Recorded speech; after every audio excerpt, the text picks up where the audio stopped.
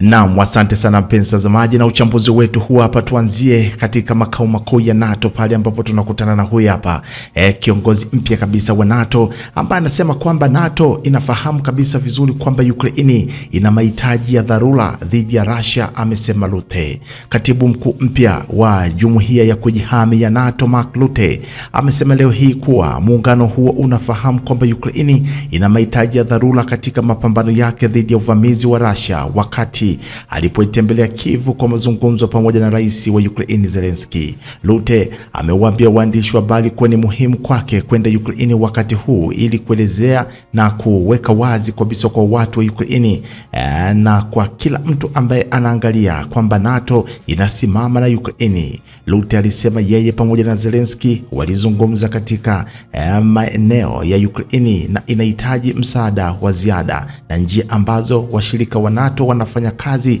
ili kukidhi mahitaji hayo. NATO inasimama pamoja na Ukraini kwa usalama wako pamoja na usalama wetu, alisema Zelensky. Amesema kwamba alizungumzia mpango wake wa ushindi na kusisitiza e, wito kwa washirika wa Ukraini kutoa silaha ili kuruhusu silaha hizo kutumika kuishambulia e, Urusi katika maeneo ya ndani kabisa na wakati hayo akiwa yanaendelea kule nchini Urusi, mpenzi mtazamaji, pale Afrika Kusini tunaambiwa kwamba vyama vya upinzani kufufua mchakato wa kutokuwa na imani na Rais Ramaphosa. Mahakama ya Afrika Kusini imesema kwamba mwezi ujao itasikiliza kesi ambayo imewasilishwa na vyama viwili vya upinzani ikilenga kufufua mchakato wa kutokuwa na imani na Rais Cyril Ramaphosa. Hatua hiyo ni kufuatia kashfa ya zaidi ya dola laki tano taslim zilizopatikana kwenye nyumba moja katika shamba lake kisha kuibiwa. Ramaphosa aliponea anakuambia kura hiyo mwaka wa 2022 baada ya chama chake cha ANC kutumia wingi wake bungeni kuipinga hata baada ya ripoti ya uchaguzi huru kuhoji tabia yake na kupendekeza uchunguzi zaidi ufanyike. Tangu wakati huo chama chake cha ANC kimeungana na vyama vingine tisa katika kuunda serikali ya muungano, hatua ambayo imetuliza malalamishi dhidi ya Ramaphosa kutokana na kashfa hiyo. Hata hivyo, vyama viwili ambavyo sio sehemu ya muungano huo vya E, EFF pamoja na African Transformation Movement vimewasilisha kesi hiyo vikidai kuwa bunge halikutekeleza jukumu lake eh, la kikatiba eh, la kuwajibisha au kumwajibisha rais huyo. Kashfa hiyo ilizuka Juni 2022 na kutishia utawala la Ramaphosa. Kiongozi huyo mwenye umri wa miaka 71 alichaguliwa tena Juni kwa muhula wa pili kupitia usaidizi wake bungeni na upinzani baada ya chama chake cha ANC kupoteza wingi wake bungeni kwa mara ya kwanza tangu Afrika Kusini ilipojipatia uhuru wake kutoka kwa mabeberu mwaka 94 na tunaambiwa pia visiwa vya Chagos vimepewa uhuru wa kujitawala na Uingereza.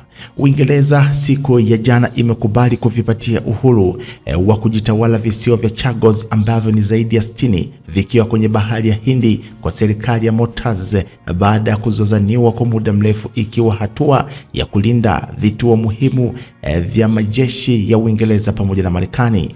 Waziri wa mambo ya kigeni wa Uingereza David Lammy amesema kuwa makubaliano hayo yatahakikisha usalama wa kituo cha kijeshi cha Diego ambacho ni kikubwa zaidi miongoni mwa visiwa hivyo ambavyo vimekuwa ni himaya ya Uingereza kwa zaidi ya miaka hamsini. Kituo hicho chenye takribani wanajeshi 2500 wengi wakiwa wa Marekani wamehusika kwenye operesheni za kijeshi hapo nyuma vikiwemo vita vya Iraki vya mwaka wa 2003 na vile vya Afghanistan ambavyo vimemalizika hivi karibuni. Uingereza imesema kuwa bila kuwa na makubaliano hayo, operesheni za kijeshi huenda zikawa hatarini katika siku zijazo kutokana na mzozo wa kisheria eh, kupitia mahakama za kimataifa pamoja na majopo kadhaa. Mkataba huo pia unafungua njia ya kurejeshwa kwa watu wachache ambao walibaki hai baada ya kuondolewa makwao katika kisiwa hivyo. Miongoni mwa waliopita wanasema takribani wakazi 1500 kutoka katika visiwa vya Chagos waliondolewa makwao ili kutoa nafasi ya kujengwa kwa kituo cha kijeshi cha Marekani, hatua ambayo imetajwa na kundi la Human Rights Watch kuwa ni uharibifu na uhalifu wa kibinadamu ambao ulitekelezwa na utawala wa kikoloni dhidi ya wenyeji. Na Tunde tukaangalie ambacho kinaendelea kule nchini Australia, ambapo tunaambia kwamba maelfu ya waandamanaji wamejitokeza Australia kupinga chama cha FPO. Maelfu ya waandamanaji wamekusanyika katika mji mkuu Australia, Vienna, kupinga uwezekano wa kurejea madarakani kwa chama cha mrengo wa kulia cha Freedom, yani FPO, kilichoongoza katika uchaguzi wa kitaifa siku ya Jumapili. Chama hicho kilipata takribani asilimia 29 ya kura hiyo kikiwa mbele ya kile e, cha PPA kilichopata zaidi kidogo ya asilimia 26. Liabt Om, mwanafunzi wa umri wa miaka 24, alisema kuwa chama hicho ni hatari e, kwa kuwa tayari kimesema kuwa e, kitatawala kwa sera ya Viktor Orban ambaye ni kiongozi e, wa nchi jirani ya Hungary.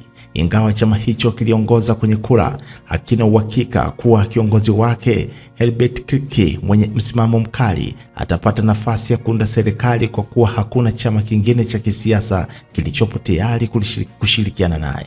Viongozi wa maandamano wamesema kuwa kati ya watu elfu kumi na tano mpaka kumi na saba walikusanyika katikati ya Vienna na kisha kuandamana kuelekea katika makao makuu ya bunge. Baadhi yao walibeba mabango yenye maneno kwamba tulinde demokrasia, hakuna kushirikiana na rafiki wa Putin, pamoja na maneno mengine yenye kashfa katika chama hicho. Na pale nchini Haiti tunaambiwa kwamba shambulio la genge la Haiti limesababisha vifo vya takribani watu ishirini.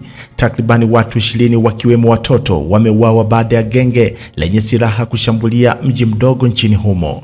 Wengine hamsini wamejeruhiwa wakati washiriki wa genge la Grand Griffe walipovamia eh, Point Podes katika eneo la kati lililopo takriban kilomita 71 kaskazini magharibi mwa mji mkuu wa Port-au-Prince. Video ambayo imeonyesha makundi ya watu wakikimbia hasia kwa, kwa pikipiki na kwa miguu. Mwendesha mashtaka wa serikali ameelezea shambulio hilo kama ni mauaji na ameripoti shirika la habari la AFP kwamba magenge yenye silaha yamechukua udhibiti wa sehemu kubwa za Haiti, na ujumbe wa polisi ambao unaungwa mkono na Umoja wa Mataifa unaongozwa na maafisa kutoka Kenya ulianza mwezi Juni katika jaribio la kurejesha udhibiti katika maeneo hayo. Idadi kamili ya waliofariki kutokana na shambulio hilo haijabainika bado. Vyombo vya habari vya ndani kabisa vimeripoti kuwa zaidi ya watu hamsini wa wameuawa, huku kundi la haki za kibinadamu la Haiti likisema idadi hiyo kuwa ni ishirini au ni zaidi. Kundi hilo limesemekana kuwa ni mojawapo ya magenge yenye ukatili zaidi pale Haiti. Mnamo Januari 2023, wanachama wake walishtakiwa kwa kushambulia kituo cha polisi karibu na mji mkuu na kuwaua maafisa sita. Pia wanalaumiwa kwa kulazimisha kufungwa kwa hospitali ambayo inahudumia zaidi ya watu laki saba.